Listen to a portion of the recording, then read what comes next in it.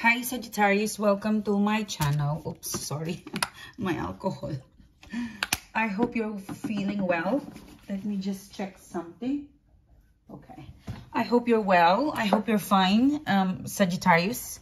This is your weekly collective tarot reading session for you. Okay. My voice is getting better and I'm so excited. So this is a weekly collective reading. Uh, this reading for today, we will be looking into love, career, finance, and general situationship. In today's reading, we will be using two cards. Okay. Let me just shuffle the cards. Thank you guys for your support. Thank you so much for your patience. Thanks for everything that you do for me. Okay. And the channel and the team. Okay. And um, thank you. Let's see. One more shuffle. If you would like to further connect with me, Sagittarius, I invite you to also please be part of our mailing list. To do that, the link is down in the description box below and um, I have a new channel. We will be uploading videos very soon there. It is the next 24 hours channel. And so that's a daily one. So if you want to connect with me, it's a different platform. Sorry, it's a different format.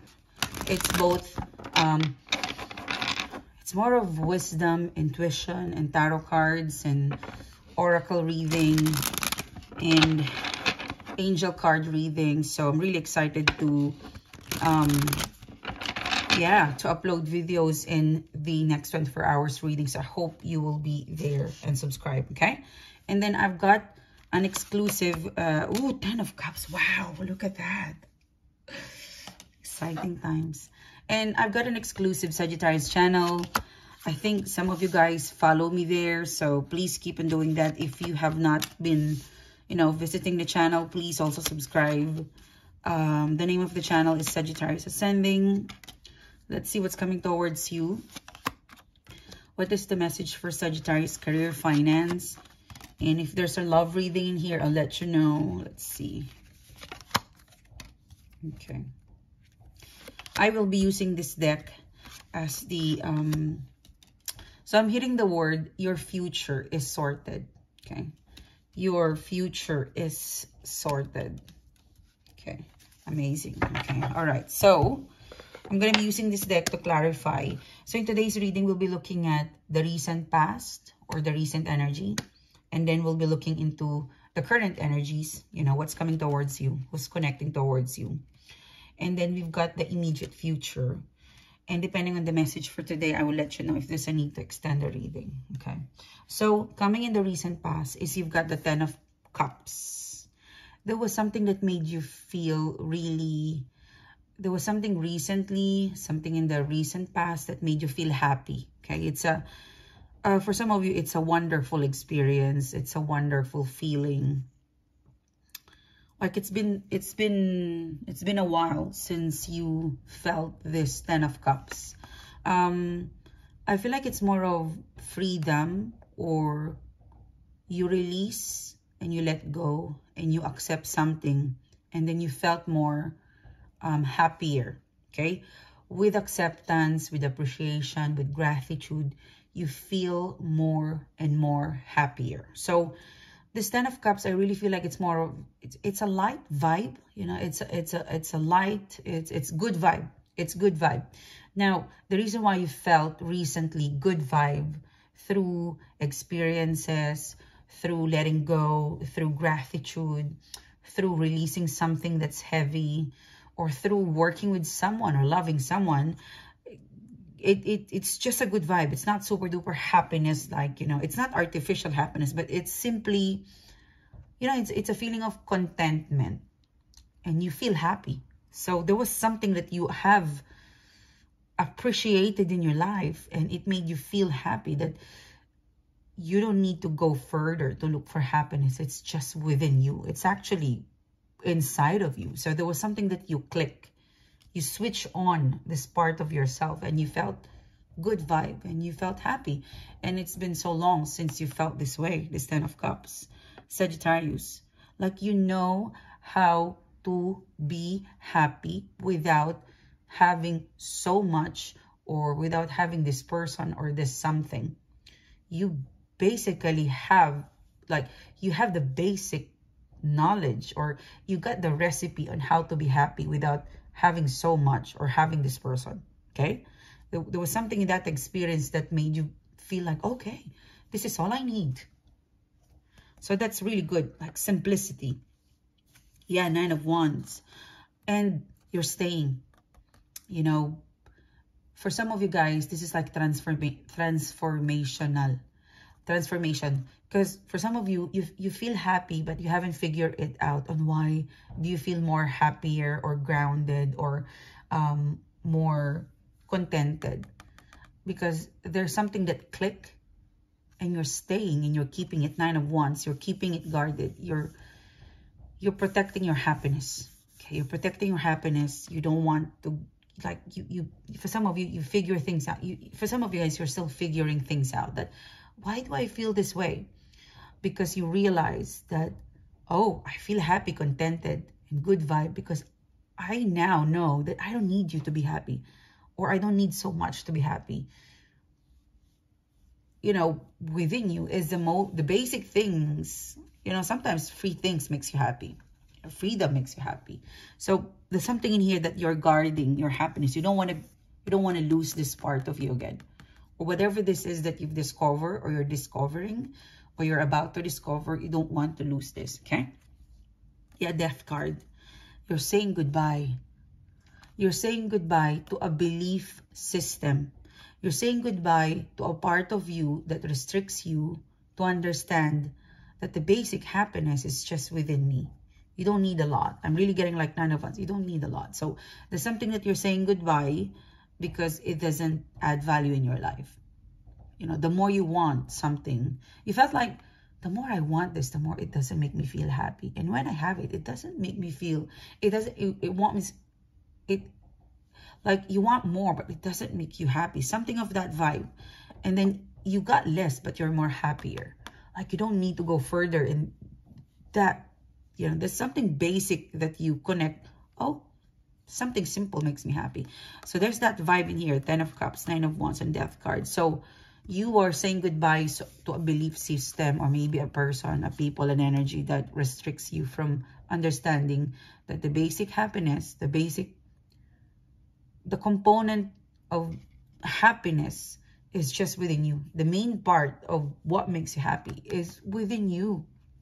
You know, we we were, you know, we, we, we came on earth, you know, in, in this, you know, as a human alone. You know, we will we will die alone.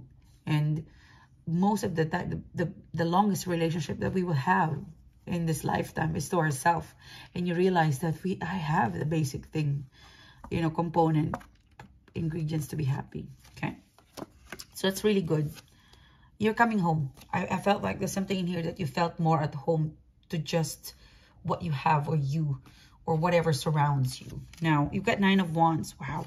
Look at that this is nine and this is also nine. Mm in with this nine of wands you're guarding you're protecting your energy and whatever it is that you you discover to feel empowered happy contented confident okay? Now with the nine of wands you're pushing away a thought a person a feeling like you're very protective of whatever it is. And another nine again. Nine nine nine. Nine nine nine is an ending. So there is something that you are saying goodbye in order for you to embrace, I don't know, newness, but there's something in here that's about you. You're transforming. You're like an alchemist, you know, um, from something so, like you're, you're not even recycling in here. It could be, a, you know, a post-eclipse, um, a post-eclipse message, but look at you. You are, you're very picky. From understanding this, you're now being picky. You don't want to complicate, you, you don't want to complicate your life in here.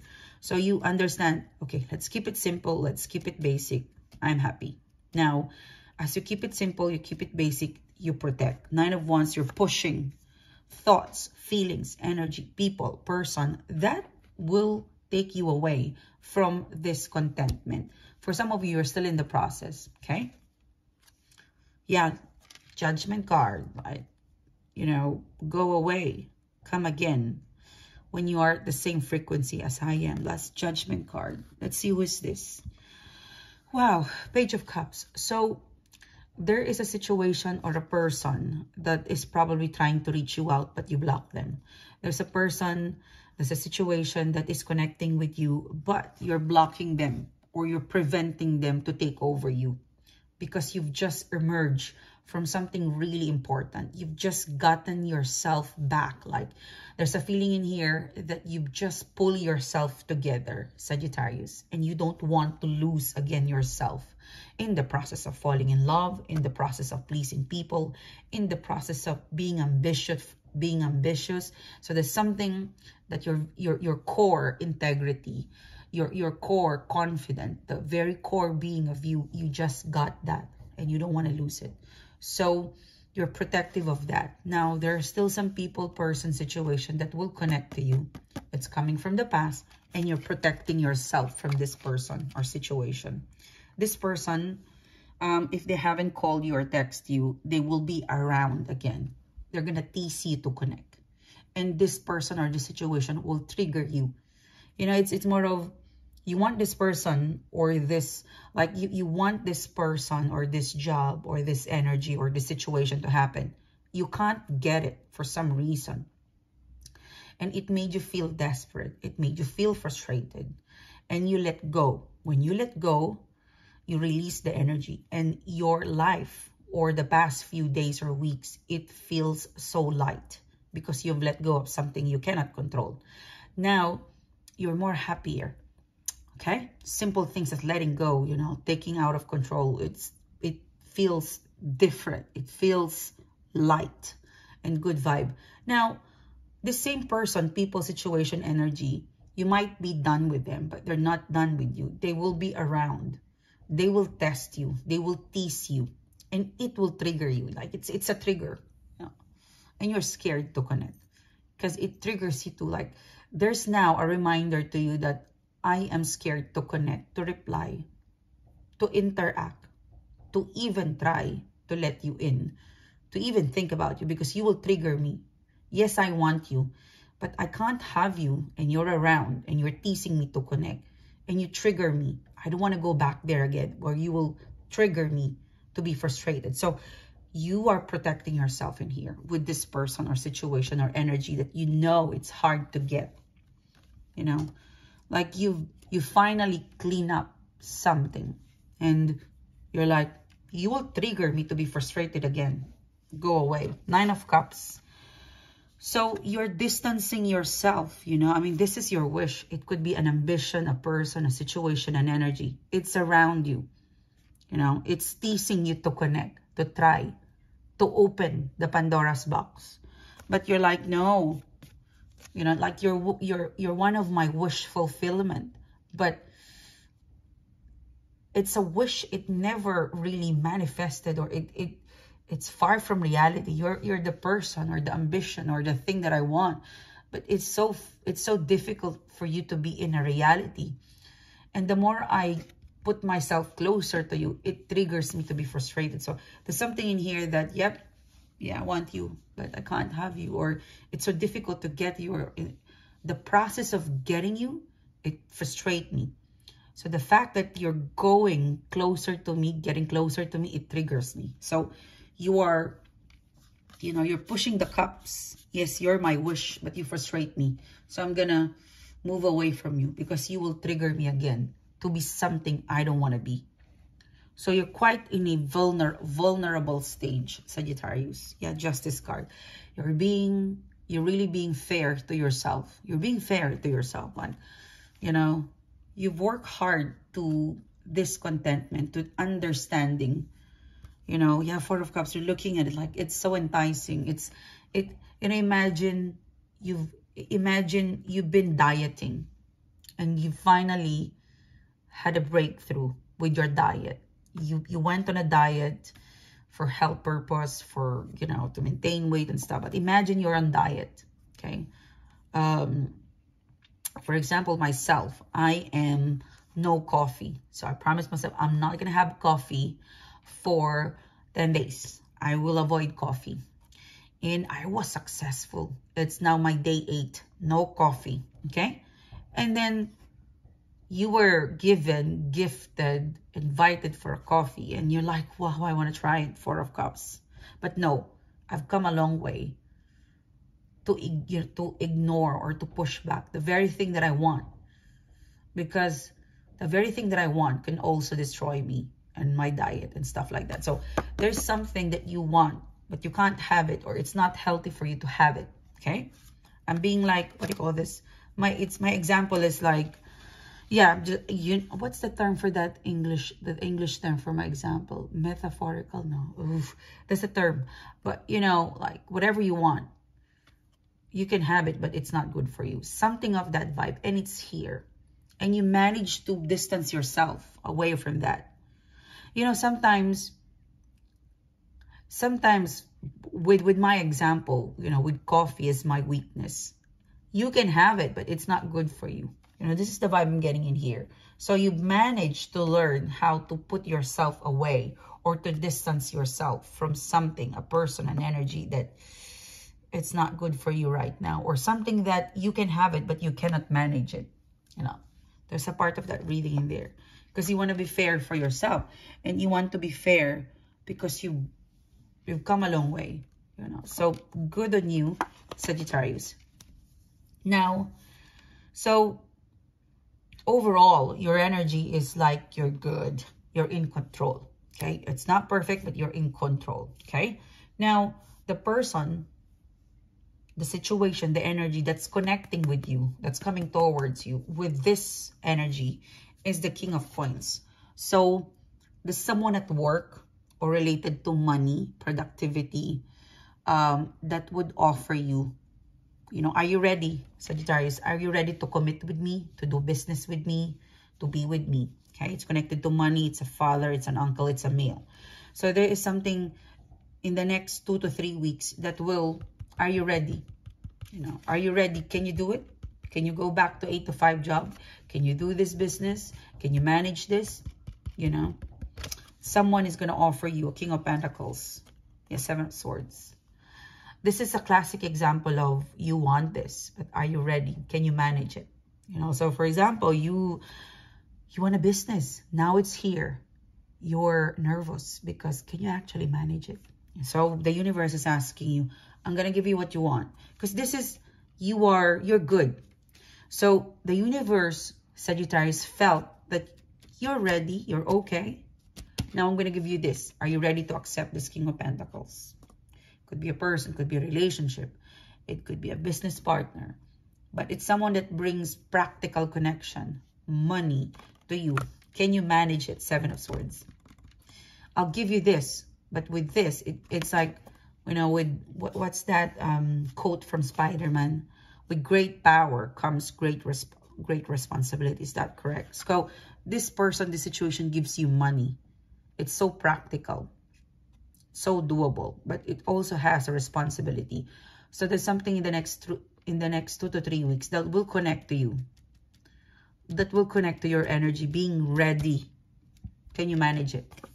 Can you manage this person, this business? Yeah, Page of Swords you will get a message, an email, communication. Yep, we approve you, a loan, a job, maybe a person, but can you manage this? Great opportunity, great person. It also have a responsibility. With you being, you've just gotten out of this, are you ready? Yeah, this question. Now, of course, you get a star card. There's something connected to your dream. Like, there's something connected to it's not even a wish. It's a dream. Like a dream come true star card. Like wish upon the star. But this is like, like if I will, the star card, this is something that you wish.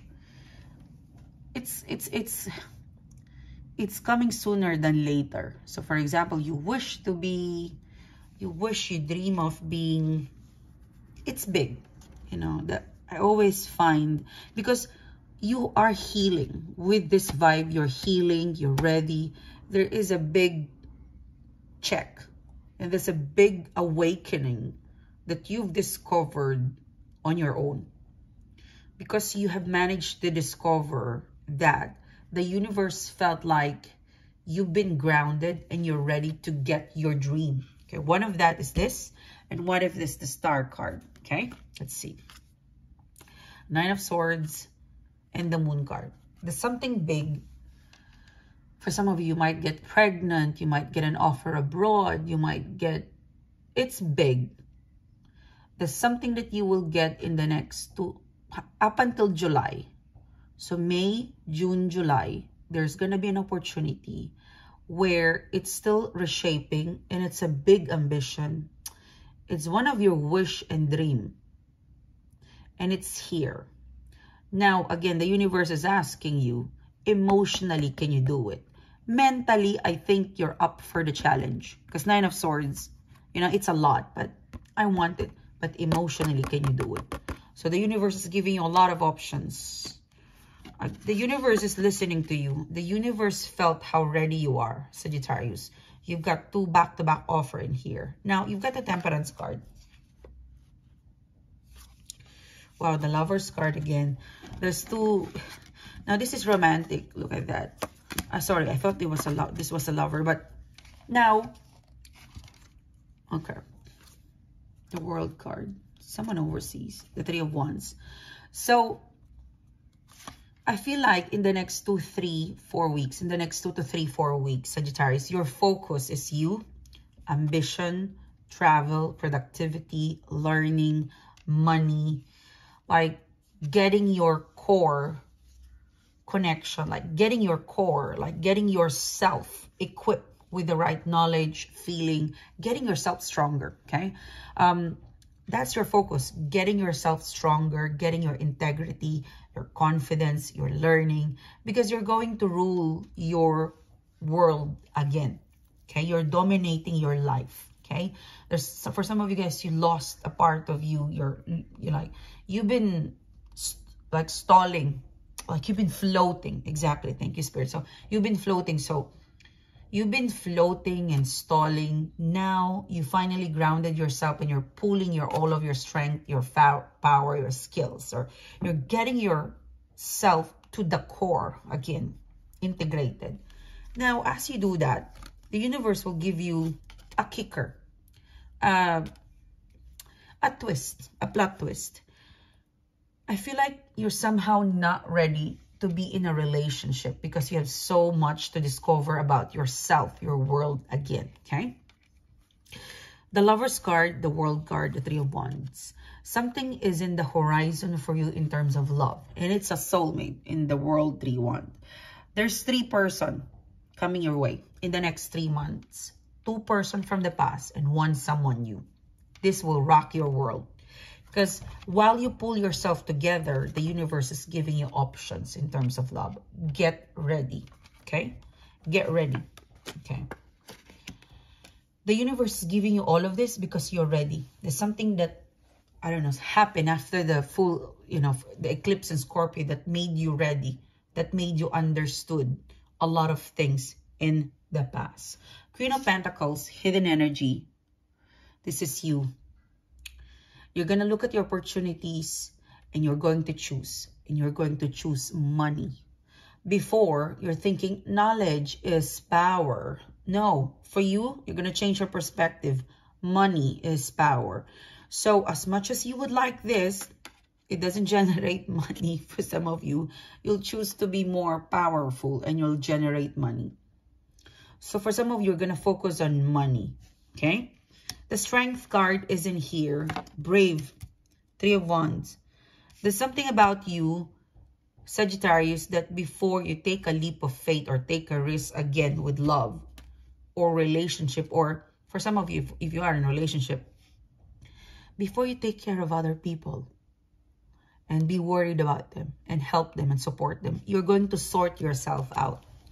Queen of Pentacles, you're going to make your coins stronger strength card, you're going to look at your skills, your talents, and you're going to hone it. You're going to be, you're going to remind yourself in the immediate future, I'm seeing you, to get money, you're going to open Pandora's box and look at your skills, your talent, your, your, your strength, and revive that because you know that in order for you to tap into good salary, money, business, you've got to recall how powerful your strength, your integrity, your hardworking knowledge. For some of you, I'm seeing you guys looking at old photos, looking at other emails, looking into the past and, and kind of reminding yourself, three of wands, that, hey, I was once a powerful, you know, I was an ambitious person. I was this, I was that. Let me tap into that energy because I need that with my future. So this reading is all about you and how you are going to march and get your back together, your life together, and you're going to start on yourself, your ambition. Okay, you're going to start that. You're, for some of you, before you do love, you are going to do your ambition going to go to school. You're going to read a lot of books. You're going to be reminded of your skills. You're reviewing your resumes for some of you. You're going to be attending a lot of interviews. You're going to connect to the world again in some, in, in a different level. You know, you've just gotten yourself or your life back and you're not going to lose it for, for other people, even for love. And it's good. You know, so they can wait. You've served the world, other people. You know, it, now it's, it's, it, this is going to be all about you. Yes. So this is a very good base to work on after the eclipse. It's very empowering. So good luck, guys. And um, this is your reading. Thank you so much. It's a pleasure doing the reading to you guys. It's amazing. Um, full, you know, it's still, you know, I feel like the eclipse, the full moon eclipse in Scorpio, it's, it's a, it's a shake up. It's going to propel us to go to not even the next level you Sagittarius will jump into level 5 and then you're going to jump to level 10. you don't go to the normal process you want. You're very ambitious and driven and you're starting within you. You're turning on the spark, okay? And it's crazy ambitious and rock and roll when you turn on that spark. You guys are unstoppable. So I'm feeling it in here, okay?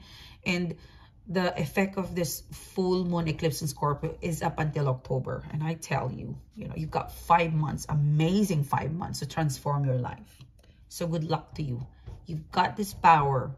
You've got this vibe, Sagittarius, that you feel like you have this confidence to reshape your life to whatever and however you want it. And people can wait. You've served them well. Now it's going to be about you. Okay? So thank you guys and I'll see you soon. Bye-bye.